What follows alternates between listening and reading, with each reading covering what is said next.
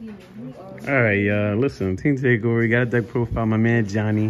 What is going on, baby? What's up, man? Uh, I got first place at the regional, uh, Philly regional to be exact. I went undefeated with a draw. Unfortunately, it happens. Uh, it was my own mistake. It was uh, I was under Zombie World. I had Advent. I summoned the Eglen for no reason at all, and then I realized time was called, and then I the Advent was just dead because the Eglen on the board was just a zombie. Oh, boy. Unfortunately, What? uh, that just gives you the idea that I was playing on East, by the way. Listen, we still want to see the deck profile. sir. Show us the spice. What Uh, let's start like? with the main first. Mhm. Uh, the main was, uh, let's see, three Robina, three Eglens, three Toccan, you know, the usual small birds. And after Mm-hmm. that, so I played two Empen, Avian, and a Raiza. People are either playing two Raiza or uh, if you like saw Couch list and other people's lists, uh, they were playing, what was it, two Empen, Avian, or no, sorry, three Empen, Avian, and a Raiza Wow. or double Raiza or three Empen. I tried those already. I didn't like it. Uh, I think three Empen is a little bricky, but if you're like on, as you can see, I'm on uh, double unexplored wind, then maybe you can play three. That's up to you. I think four is just good enough. Uh, one DD Crow, worst card in my deck so far. Really? Yeah, it, it never came up. It's like the Bystial cards does more, and if you're going against the tier uh, decks, they're milling more than at least 15 cards, at least, give or take. So you feel like, it's not even yeah, worth it's not enough. Because like if you hit one of the names, cool. Uh, they activate Scream, they play again, and then they mill another name, and then those names become you know Right. other names, and then you know that makes whatever. sense. Maybe last format was good because the Shizu cards wasn't out, but uh, you have to play the one barrier statue until it gets banned. Three shifter once again until it gets banned. Uh, ironically, at the Philly regional, I didn't draw uh, shifter much, uh, except game noticeable was game three against Eddie in the final round. I drew like the stones, Robina map, prosperity. Harpy Feathers, Storm plus this, and I was, it was just a grind game. And then he just like got Zombie Warlock on his own, and then he just couldn't out it because I had the trap. Uh, if you saw his deck profile, he also explained it why he just couldn't like get rid of it. Uh, move on to the spells. Three field spell, terraforming. Some lists are cutting terraforming. Wow. Uh, it's very understandable because you're playing like the six pots. Sometimes people are playing seven, but I think the six pots is fine. Uh, if you want to cut terraforming, that's also okay. Essentially, like if you have the uh, field spell plus the bird names already, then you're already in the engines out the deck. You're already playing. Uh, the three Advent. Uh, I'm on two unexplored winds. Why is it? Uh, so I saw Couchless. He was playing one, and then the other two was in the side. But because I'm at a regional, so there's uh, you're playing probably a lot of flu or a lot of tears. but this is more like a flu matchup. I was afraid to lose the the mirror. I, I the mirror match is like really stressful. Whoever gets to this card first wins. So I wanted to prioritize always winning game one if I'm playing against that deck. Right. Makes sense. Uh, two Book and Moon. Not a lot of people are playing it. Uh, I know Couch is playing Econs. I think Book Moon, uh, Book and Moon is better. Uh, shout out to Evan for this one because Econ is is dead turn one. You can't sack away your monster to dodge like an Imperm or a Veiler. So Book of Moon just does that. And also like if the Bagooska, Econ does the same thing. You know, you put it in attack mode, but Book of Moon just like Yeah, books. already get rid of it. Yeah. just set it.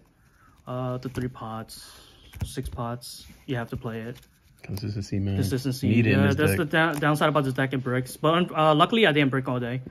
Uh, Harpy, Ghost Art. Uh, some lists aren't playing it. Uh, I think it's wild for not playing it. Yeah, You it's have a to free another it. bird. It's a free another bird. Yeah, it's like bird. like a, a small bird. Uh, activate this some bird chain block, so now they can't have you. Mhm. Uh, the Dreaming Town and three Imperm. Uh, Imperms were goaded. They'll like summon Kitkallos and then they'll attempt to search and you just Imperm them, and now that Kitkallos's just sitting there looking pretty. There you go. Uh, That's it. Just shifter and imperms with the one D crow. That's Uh, shout out to my friend Pete. Well. He wasn't there, but he was there in spirit. I see him. Yeah, he was. He stayed home because he felt a little tired. Understandable. Uh, so these are my Ultimate Slayer targets, uh, as you're gonna see later on. I didn't play the uh, XYZ that negates the monster because I took the the route that Couch took, which is the. Let me pull it out for you guys. Whoop. There it is. Giant. This, Mm. this beast and the Zeus package. Never made it. Um, It was just like if they shift, uh, we shift their, or if they have a monster on board or whatever it is, you make the dark, dark it back, makes elf elf back this, then make uh you know access code to start popping cards or whatever it is, or you can make gigantic gigantic swing, uh beat over you know any Bagooska or uh, not Bagooska sorry anything that's like big. Their Kitkallos, their Kaleido, and then you overlay to uh, Zeus out the zombie world. Oh, it's a whole Yeah. step by step. Yeah. I never made it. I made this once against uh, Eddie cause to out the back row in his zombie world, but he just dropped it. But it was the right play. I just had to do it. Uh, this never made it. This is just for like a random deck that plays Secret Village, and then you know you just summon the bird, you overlay, make this, and then play from there. Uh, Phoenix never made Unicorn, and this is just out the Bagooska. Alright. Uh, move on to the side. Side. Uh, I side a second wind barrier statue. People main two. Mm. I think two is just a brick. One is enough. If you're like secure to go first, sometimes you just side it in. It's easy. I side in uh, hummingbird. I only sided that? once. Okay, so for theory, you don't really need it. But I was just, I was afraid of like, if I ran into time, activate Abbott, Right. and they ash it, then you just stuck in, in the draw, right? But if you summon Robina and then you know map, Robina, chain block, everything, you search this, you normal Mm. summon it of the Robina, Right. and now the only way for you not to win in time is if the impermanent or veil it. So you put the pressure. on it. Exactly, Yeah, you, put, the a pressure, on it, yeah. or like if you draw the Advent plus like the Bina play, then you summon Bina, you search this, You normal summon activate the effect because you know they're not going to negate on summon, so you activate the effect, and then if they do imperm you, you just chain the Advent, and if they have the Mhm, Ash, then you just end with a draw or whatever it is. Um, Ah. I sided third Unexplored Winds. Like I said, it was just for the uh, Flu Mirror. Uh, this card is golded. I don't know why Mm. is it not banned yet. It says your opponent can't play. Mhm. Uh, the Ultimate Slayer, as you see, this is for the uh, the Trouble Sunny. Uh, two Lightning Storm never sided in, but it was just for back rows and then three Cosmics. Clean. Yeah, it's all for back rows. I always side these in for any back row decks, which I don't think I played into any. Uh, I never side these in, but I always side these in going uh, second and first against tier because I know that post side they, they side in the uh, Zombie World package.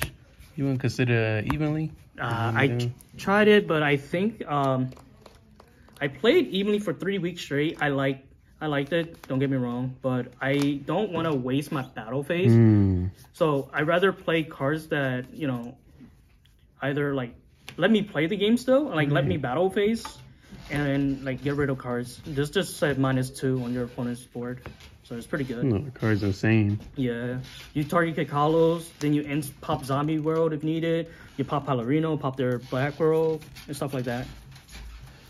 oh, uh, my man did it. Let me see the mat. Yeah, My man did it. Yes, sir. First place, Philly. And you know how Philly get. Mm-hmm. Somehow I did it. Listen, Uh, Johnny, shout out. Yes, big a shout, out. out. Uh, big shout out to Evan and Roger for showing me the lines. Uh, I picked this deck up about a month ago. I didn't know much of the line, and then they were, I was asking them like, "Hey, uh, what should be the normal ratio?" You know, Mhm. every person has their own different ratios. Uh, shout out to Juan and Brandon for playtesting with me. Um, shout out to the Penguins chat, the WWE chat, the Johnny and Friends chat. Uh, shout out to my man Josiah over there. He uh, drove me home. Shout out to my best friend over there, Amanda. She drove. Uh, she uh, came out, supported me. Shout out to my mom and my brother for supporting me and letting me play in this game. Yeah, there you go. And shout out to my locals, Gardens Earthly Delights. Gardens, Yes, man. where I'm from. Right on. Listen, my man Johnny, appreciate you. Always gonna see him again. We already know this Yep. ain't the last I'll see you at time. the next regional. Yeah, that's right. All right, man. All right, Peace. Peace.